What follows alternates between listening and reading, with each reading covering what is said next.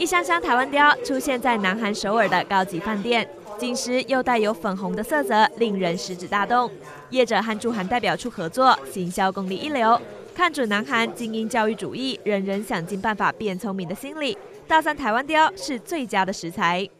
但是除了味道鲜美以外啊，它是一个低脂肪、高蛋白的海海产品，所以台湾有句话说啊，要聪明的小孩一定要多吃鱼，要多吃鱼就要吃台湾雕。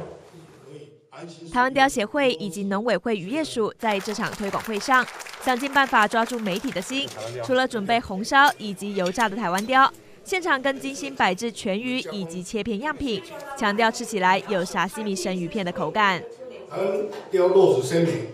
口感 Q，没有细骨，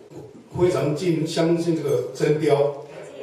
台湾雕早年叫做吴锅鱼，是家家户户餐桌上经常出现的国民美食。经过多年改良，越来越受到国际肯定，可能也是另一种的台湾之光。